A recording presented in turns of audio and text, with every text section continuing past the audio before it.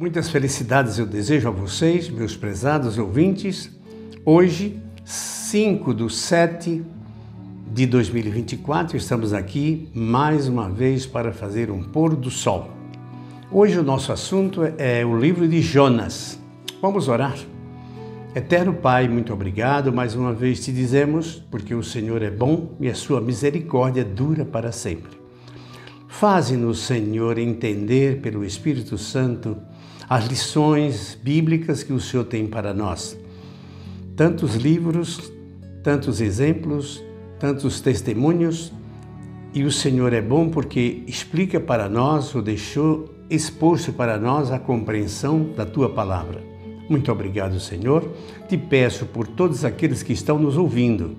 Peço pelos nossos familiares, amigos, vizinhos, que a graça do Senhor esteja conosco, em nome de Jesus. Amém. Então, como eu dizia, vamos estudar o livro de Jonas. O livro de Jonas tem quatro capítulos. E eles são bem interessantes porque no primeiro capítulo Jonas foge de Deus, no segundo ele volta para Deus, no terceiro ele caminha com Deus e no quarto ele caminha adiante de Deus. Vamos ver como é que aconteceu tudo isso. Então, o nome Jonas significa pombo. Não sei bem porque existem significados de nomes que não têm uma explicação. Ele morava em Zebulon, que fica próximo da Galileia. Ele conhecia muito bem a situação de Nínive, para onde Deus o chamou para que ele fosse testemunhar lá. E então ele recebe esse, o chamado de Deus e vamos ver, começando pelo verso 1 do capítulo 1 veio a palavra do Senhor a Jonas, filho de Amitai, dizendo: Dispõe-te, vai à grande cidade de Nínive e clama contra ela, porque sua maldade subiu até mim. Os ninivitas eram, sobretudo, a nação mais guerrilheira de toda de daquela época. Eles não tinham compaixão nenhuma. Dizem que quando um ninivita ou os ninivitas pegavam uma nação, levavam presas, cortavam os dedos das pessoas, cortavam as orelhas, ia ao máximo, tirava as roupas e deixavam que eles obrigavam-os a andar pelas ruas. Eram assassinos de primeira classe.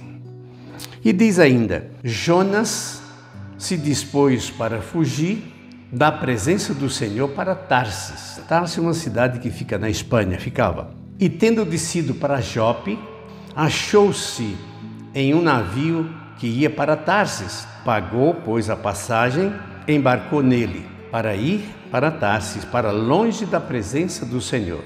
Mas o Senhor lançou sobre o mar um forte vento e fez no mar uma grande tempestade, e o navio estava pronto para despedaçar. Então os marinheiros, cheios de medo, chegavam cada um ao seu Deus ou clamavam cada um a seu Deus, perguntando: por que será? E eles se desfaziam de suas cargas para aliviar o peso.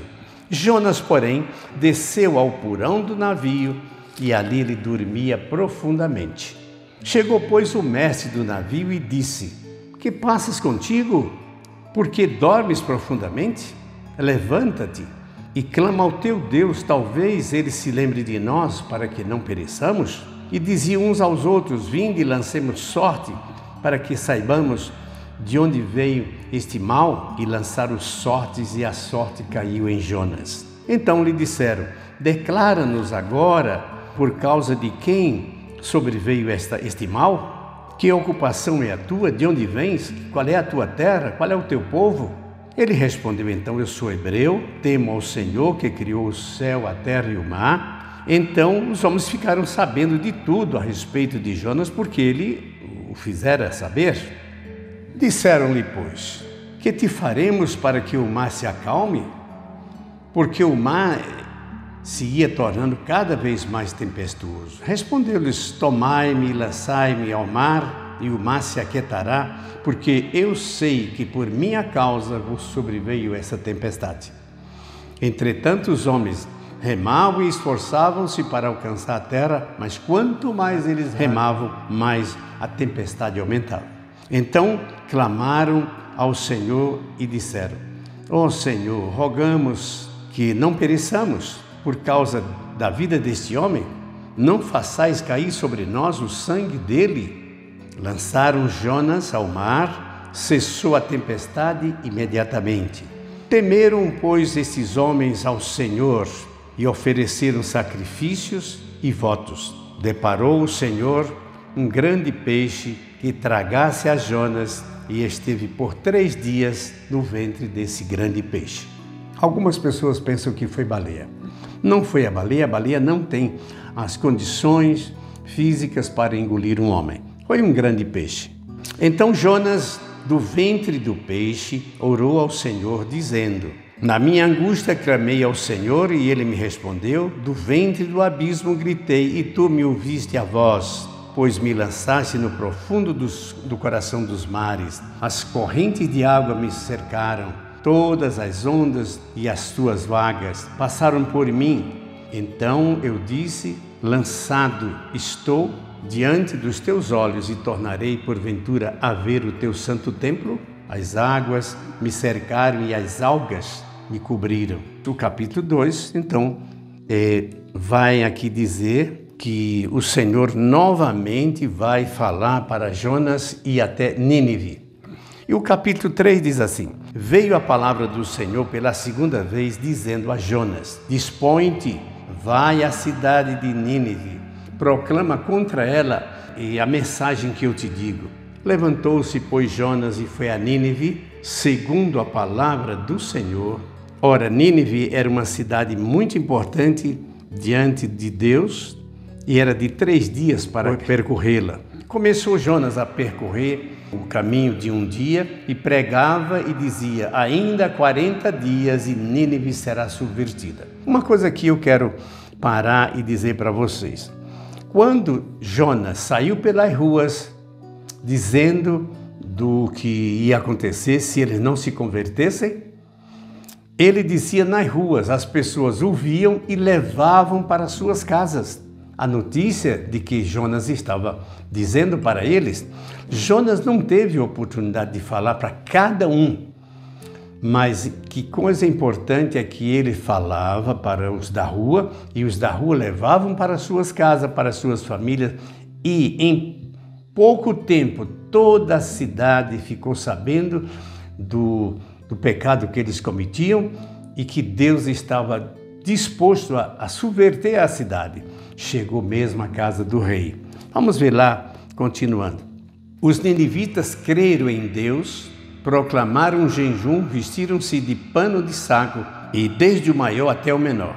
Chegou a notícia ao rei de Nínive. Ele se levantou do seu trono, tirou suas vestes, cobriu-se com pano de saco e assentou-se na cinza. E fez proclamar, divulgar em Nínive, por mandado do rei, os seus grandes, e que nem homens, nem animais, nem bois, nem ovelhas provem nem comida e nem água, mas sejam cobertos de pano de saco, tanto homens como animais.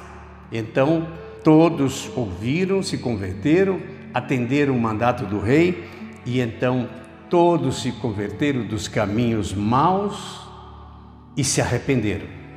E agora vem o quarto capítulo, de muita importância também, mas é triste saber do quarto capítulo. Com isso, com a conversão do povo de Nínive, com a mudança de atitudes, com o voltar-se para o Deus verdadeiro, Jonas desgostou-se e ficou muito irado orou ao Senhor dizendo: Ó oh, Senhor, não foi isso que eu disse estando ainda na minha terra? Por isso me adiantei e fugi para Tarsis, pois eu sabia que o Senhor é clemente, misericordioso, tardio em irar-se e grande em benignidade, e te arrependes do mal. Peço-te, pois, Senhor, tira-me a vida, porque é melhor morrer do que viver. Cadê a fé de Jonas? Cadê a confiança que ele tinha em Deus? Cadê a esperança que ele tinha do livramento da pessoa dele? Ele temia porque os ninivitas eram terríveis, eles eram assassinos. Na época, to, ninguém era mais terrível e, e fazia mais miséria para os, os seus mandados, os seus conquistados. Disse o Senhor a Jonas: É razoável a tua ira? Então Jonas saiu da cidade, assentou-se no oriente da cidade, ali fez uma enramada e repousou debaixo dela à sombra até que acontecesse a destruição da cidade. Ele esperava, ele pregou, ele não queria, mas Deus insistiu e ele foi pregar, e agora a cidade não vai ser destruída, porque houve arrependimento. Eles voltaram atrás, se arrependeram dos seus pecados. E Deus fez nascer uma planta, ela deu sombra para Jonas, mas no dia seguinte, um verme, uma lagarta, feriu aquela planta e ela secou. Então, nascendo o sol, Deus mandou um vento calmoso do oriente sol bateu na cabeça de Jonas de maneira que fez desfalecer, pois pediu para a morte, dizendo: Melhor morrer do que viver. Então perguntou Deus a Jonas: É razoável a tua ira por causa é, da planta? Ele respondeu: É razoável a minha ira até a morte. Tornou o Senhor: Tens compaixão da planta? que tu não fizeste nada por ela, não plantaste, não a fizeste crescer, e numa noite nasceu e na outra pereceu? Não hei eu de ter compaixão da grande cidade de Nínive, em que há mais de 120 mil pessoas que não sabem discernir a sua mão direita da sua mão esquerda? E também de tantos animais? Vejam quatro capítulos aonde acontece todas estas coisas. São apenas 48, se não me engano, é, versos. E aconteceu tudo isso. O que é que nós devemos tirar de lição de tudo isto? Jonas era um profeta que já havia tido outras experiências, mas agora esta experiência dele, para ele, foi demais. Por quê? Deus pedira que ele fosse pregar numa cidade que não tinha compaixão de ninguém. Ele temeu pela vida dele. E ele então resolve fugir. Ele foge, mas Deus faz com que é, ele seja é, tragado por um peixe grande depois que foi jogado ao mar.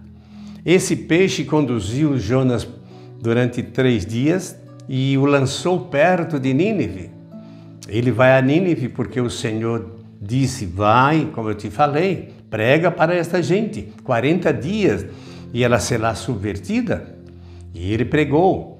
E os ninivitas ajudaram a Jonas a pregar e chegou aos ouvidos do rei. O rei também se arrepende. É, baixa um decreto para que todos façam a penitência e ofereçam sacrifícios ao Deus Criador do céu e da terra. E Deus se compadeceu de Nínive e não a destruiu. Mas agora Jonas fica o quê? Muito zangado porque ele mentiu. Ele disse o que não se cumpriria. E Jonas agora está numa situação que ele desejava a morte. Meus prezados, a lição que nós devemos tirar aqui, principalmente, aceitar a vontade de Deus, aceitar os mandados de Deus, aceitar os mandamentos de Deus. Hoje nós temos uma Nínive também diante de nós. Mas outra coisa interessante é que os ninivitas pregaram o evangelho aos seus colegas, à sua família. E nós estamos fazendo isto? Jesus disse que devemos pregar o Evangelho a todos aqueles que necessitam saber. E antes dele voltar, agora, nas nuvens do céu para nos buscar, ele quer que nós preguemos o Evangelho. Vamos fazer isto com os nossos colegas, amigos, com aqueles que nos pertencem, com os nossos familiares, com os nossos filhos, esposa, esposo, irmãos, vizinhos. Dá testemunho de amor, dá testemunho da palavra de Deus, da confiança, da fé, da esperança. Amigos, nós estamos vivendo em dias muito é, difíceis, mas dias probantes, dias de oportunidade para pregar o Evangelho e, sobretudo, amar os nossos inimigos e os nossos amigos também. Mas o amar é desejar o bem. Que bem nós podemos espalhar para aqueles que estão ao nosso redor? Pregar, dar testemunho de Cristo, pregar a palavra dele, para que haja em nós e neles a verdadeira vida de servir a Deus. Amigos, esse é o nosso desejo e esperamos que as bênçãos do Espírito Santo repousem sobre nós para que possamos ter esse testemunho que Deus nos pede com tanto amor e Ele promete uma vida eterna para aqueles que fizerem a sua vontade. Nós pedi, vamos pedir isso em nome de Jesus. Oremos.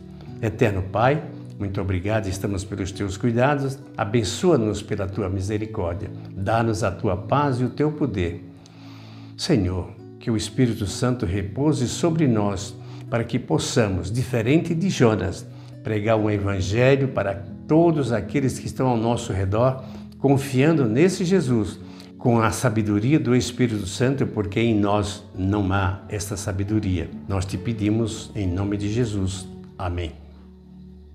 Um feliz sábado para todos vocês.